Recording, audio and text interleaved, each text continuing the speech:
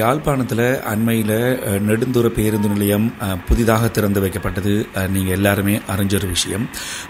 அந்த புதிய பேருந்து நிலையத்தில் தனியார் மாத்திரம் இப்பொழுது சேவைகளை வழங்கி கொண்டு வர நிலையில் அரசு அதாவது இலங்கை போக்குவரத்து சபைக்கு சொந்தமான பேருந்துகள் அந்த புதிய பேருந்து நிலையத்தில் சேவைகளை வழங்க மறுத்து வருகின்றார்கள். அதற்கு அவர்கள் கூறும் காரணம் என்ன என்று சொன்னால் அதில் அதாவது புதிதாக அமைக்கப்பட்ட பேருந்து நிலையத்தில் வந்து போதிய வசதிகள் இல்லை என்று சொல்லி இன்றைய தினம் யாழ் பேருந்து நிலையத்தில் நடந்த சலசலப்பை தான் நீங்கள் இந்த வீடியோவில் பார்க்குறீங்க. எல்லாமே சொல்லியிருக்கான் என்ன தனி ரோட்டுக்கு போயா வந்திருக்கு ஆனால் அவங்க வர இல்லை அவங்க வராமல் இந்த செய்ய- இப்படி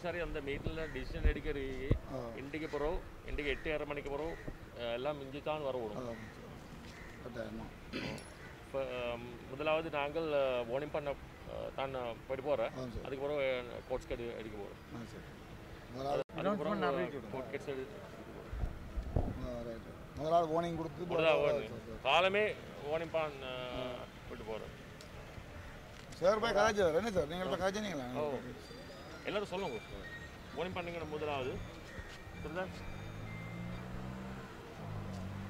கோவிட் நைன்டீன் எல்லாம் நல்ல இருக்குதான் இது நல்ல இடம் இருக்கு. நல்ல இடம் இருக்கு நல்ல வசதியான இடம் இருக்கு. இப்படிதான் சார் எல்லா பிரச்சனையும் இப்படிதான் மன்னார்ல இப்படிதான் பிரச்சனை வவுனியால இப்படிதான் பிரச்சனை நடந்தது. அதுக்கு பிறகு இந்த பிரச்சனையை தீர்த்து வச்சது வந்து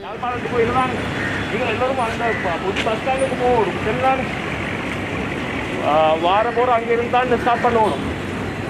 வந்த பிறகு அங்கே ஆ, அந்த ஆகல் எல்லாம் இறங்குவோம். அந்த வெளியே டைமுக்கு அங்கே போகணும் எல்லாம் அலிகேட் பண்ணிருக்கு உங்களோட வெயிட்டிங் ஏரியா பார்க்கிங் ஏரியா எல்லாம் அலிகேட் பண்ணிருக்கியா அங்கே போய் நீங்கள் பஸ் ஸ்டாண்டில் அடிக்கிறீங்க சரி நீங்கள் எடுத்துட்டு அங்கே போங்க இதுக்கு நிற்க வேணாம் இதுக்குள்ளேருந்து நீங்கள் போனீங்கன்னா உங்களுக்கு ஃபைன் அடிப்போம் ஆ ஆ இங்கே டிரைவர் எங்கே அங்கே எங்களுக்கு அதிகாரி என்ன மட்டத்தால எங்களுக்கு எந்த விதமான ஓடுறோம் கிடையாது அது எனக்கு தேவை எல்லாரும் உங்களோட அதிகாரிகளுக்கு எல்லாம் சொல்லியாச்சு. எல்லாரும் சொல்லியாச்சு. ஹாஸ்பிட்டல் ரோட்ல போனீங்களான்னு சொன்னா நாங்கள் சிறிய ஃபைன் அடிப்போம் நீங்கள் அதை பற்றி இப்போ எங்களோட கோச்சிட்டு யோசனை போக்குவரத்து பாதை பிரச்சனை இல்லை சார் நாங்கள் அந்த ஓடுற மாதிரி இல்லை இந்த ஸ்டாண்டுக்கு வரக்கூடாதுன்னு வந்து போகக்கூடாதுன்னு சொல்கிறது தான் பிள்ளையான விஷயம் அண்டர்ஸ்டாண்டுக்கு வரையில இப்போ அதுக்குரிய அடுத்த இடம் அதிகாரி எல்லாம் பஸ் ஸ்டாண்ட் இருக்குதானே? உங்களோட ரெஸ்ட் ரூம் எல்லாம் அந்த டாய்லெட் ஃபெசிலிட்டி எல்லாம் எங்களுக்கு சார் இந்த ஸ்டாண்டில் சகல வசதியும் இருக்குது பிஓசெட்லேருந்து டீசல் இல்ல அது எல்லாம் டிஸ்கஸ் எல்லாரும் authorities இல்ல எல்லா எல்லாரும் அத்தாரிட்டிஸ் டிஸ்கஸ் டிஸ்கஸ் பண்ணிருக்கு சரிங்களானே எல்லாரும் ஃபைனல் டிசிஷன் இருக்கு. ஆனால் இது சம்பந்தமா?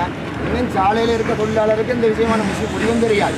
தனியாக மேல்மட்டத்தில் காய்ச்சி போட்டு அவையாளங்களை அறிவிக்கவும் தெரியல வராமல் பஸ்ஸை கொண்டு போகணும்னு சொல்கிறதில்ல எங்களுக்கு போலீஸுன்ற சட்ட ரீதிக்கு அதனால எங்களுக்கு சிடிபி சட்டம் இருக்கு. அந்த சிடிபி சட்டத்தை மீறி நாங்கள் நடக்கல. தொழில் செய்கிற நாங்கள் அதை மீறி நடக்கல. எங்களுக்கு சிடிபி சட்டத்தை படி தான் நாங்கள் செய்யலாம் இருபத்தையாயிரம் ரூபாய் சிறிய ஃபைனல் presidents, agent, governor. சரிதானே? கூட அஹ், பெரிய ஆக்கள் ஒரு அப்புறம் வரையில்லை. அங்கே ஒரு ஒரு ஆள் வந்திருக்கு தான் யார்? டிப்போ மேனேஜர் இப்போ மேனேஜர் வந்திருக்கு. அவன் எல்லாம் தெரியும்.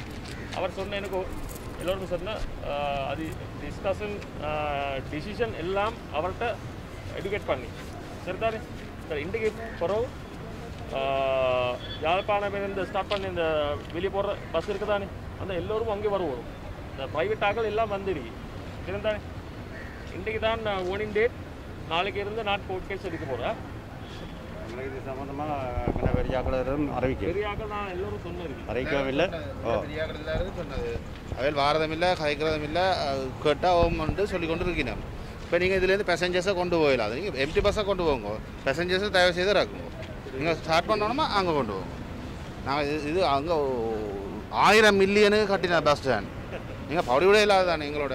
நீங்கள் வந்து உங்களோட இல்லை கதைங்க. நாங்கள் தாராளமாக உங்களோட இல்லை கதைக்கிறதுக்கு தாராளமாக ரெடி நான் ஒரு ஆயிரம் தரம் உங்களோட மேலதிகாரிகளுக்கு ஃபோன் எடுத்துருக்கிறேன் கதைச்சிருக்கிறேன். அவையில் உங்களோட சப்போர்ட் பண்ணுறீங்களே இல்லை? சரி நீங்கள் பஸ்ஸை இதுலேருந்து பேசஞ்சர்ஸை ஏற்றி இறக்கலாம் அது? சரிதானே? இண்டையிலேருந்து அந்த நடைமுறை ஸ்ட்ரிக்டாக வருது. உங்களுக்கு அறிவித்தல் கொடுத்துருக்குறோம். உங்களை லெட்டர் அனுப்பியிருக்கிறோம். உங்களுக்கு மேலதிகாரம் சொல்கிறது சொல்லாத. எங்களுக்கு தெரியாது. நீங்கள் இப்படி ஓடிக்கொண்டு இருந்தால் பேருந்து நாங்கள் ஆயிரம் மில்லியன் கதை கட்டுவோம். சரிதானே? முழு பேசஞ்சர்ஸையும் இப்போ இறக்குங்க. இதுலேருந்து நீங்கள் கொண்டு போயிடலாம். லீசிங் முடிஞ்சு இப்போ. லீசிங்கோட கொச்சிரு காணக்கே விட அதுக்குள்ள இது உங்களோட ப்ராப்பர்ட்டி என்றது இல்லை இது எம்சி ஏரியா எம்சி ஏரியாக்குள்ள எந்த இடத்துல பஸ் வரலாம் போகலாம்ன்றதை தீர்மானிக்கிறது எம்சி சரி நான் உங்களோட முரண்பாடு இல்லை எல்லாருக்கும் சொன்னேன் நான். நிறைய இதில் தெளிவாக கொடுத்துறாங்க இது யோசிச்சுக்கோண்ணா. இது வசதி இல்லையா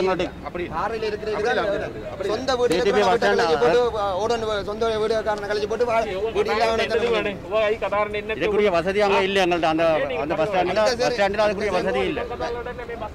சார் இந்த சிடிபியை பொறுத்தவரை யூனியன் இருக்கு. சிடிபியை பொறுத்து யூனியன் இருக்கு. யூனியன்ல ஒரு கதைக்காக கூட எடுக்கல சார். எனக்கு தெரியும். ஏன் நீங்க அதுக்கு வர இல்லையது எத்தனை மீட்டிங்ஸ் நடந்தது? ஒரு ஆள் சார் வரல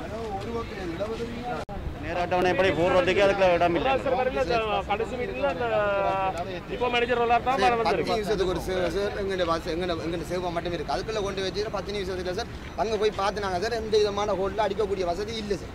பத்து நிமிஷத்துக்கு பஸ் இருக்கு சார் என்னடா சார் இதுலேருந்து கண்டி குழம்பு பவனி அவுட் போட போகுது. பத்து நிமிஷத்துக்கு ஒரு பவுனியா தாண்டி தான் சார் போகுது? உதாரணத்துக்கு மட்டக்களப்புல இருந்து நீங்கள் அங்கே திருவண்ணாமலை போயிட்டு எல்லா கதைக்கும். நான் கதைக்கிறதுக்கு எவ்வளோ தரம் முயற்சிச்சுனா நீங்கள் வரையல. இப்போ நீங்கள் அங்கே போயிட்டு நீ கதைக்கலாம் சரி அங்கே போயிட்டு சர்வேயை ஸ்டார்ட் பண்ணிட்டு சகல பிரச்சனையும் கதைங்க சகல பிரச்சனையும் தீர்த்து வைக்கப்போம் ஆனால் நீங்கள் இவ்வளோ நாளும் நான் நூறு தரம் கூப்பிட்டுருப்பேனே. ஆ இவன் ஓப்பனிங்கு கூட நீங்கள் வரையலே ஆ ஓப்பனிங் கூட எத்தனை கஞ்சி நானும் கூட. வாங்க ஒரு பஸ்ஸை சும்மா விட்டுட்டு போங்க. இந்த போர் மாவட்டத்துக்கு செல்கின்ற பேருந்து சேவைகளும் இன்று முதல் நடைபெற மாட்டாது. அந்த பேருந்து சேவைகள் அனைத்தும் யாழ்ப்பாணம் அமைக்கப்பட்டது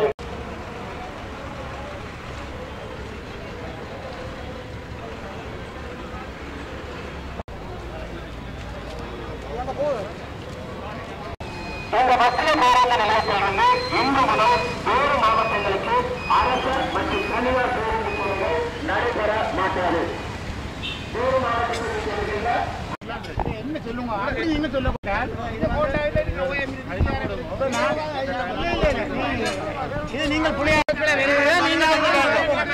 செல்கின்ற அது அங்க மேல் அதிகாரிகள்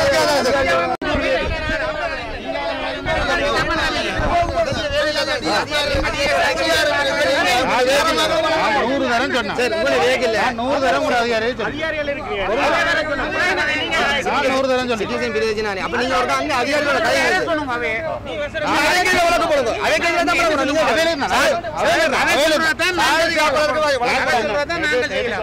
அதிகாரிகளுக்கு எதிராக தான் போடுவேன். இப்ப நாங்க மானசம் இதுங்களை வேலை செய்யலாம் பரவாயில்ல.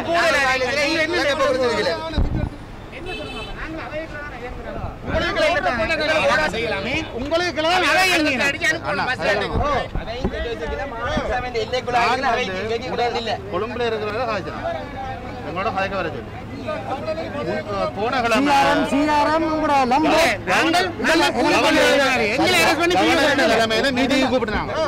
எல்லாரும் வந்தவ உங்களுடைய அகல தப்பு நீங்க பண்ணுங்க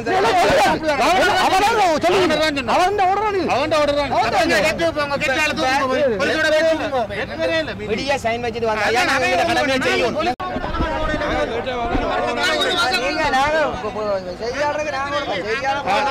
தாராளமா தாராளமா செய்யும் எங்களுக்கு சொல்ல இல்ல இதுவரை மக்களுக்கான மக்களுக்கான பிரதிநிதி நீங்க செக் பண்ணுங்கன்னு சொல்லலாம் அப்படி என்ன மக்களுக்கான பிரதிநிதி தகுதியே இல்லையே தகுதியே இல்லையே மக்களுக்கான செக் பண்ண சொல்லுங்க செக் பண்ண சொல்லுங்க மக்களுக்கான பிரதிநிதி செக் பண்ண சொல்லுங்க மக்களுக்கு சேவை செய்ய நீங்க என்ன மக்களுக்கு செக் பண்ண சொல்லுங்க மக்களுக்கான பிரதிநிதி இல்லை. மக்களுக்கான பிரதிநிதி இல்லை. மக்கள் சேவை பொறுப்பா இல்ல. நூறு தரம் இல்லாட்டி என்ன செய்யலாம்?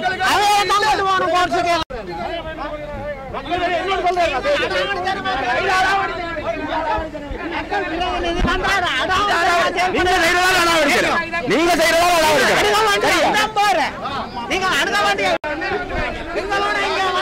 நீங்க எங்களுக்கு அதிகாரி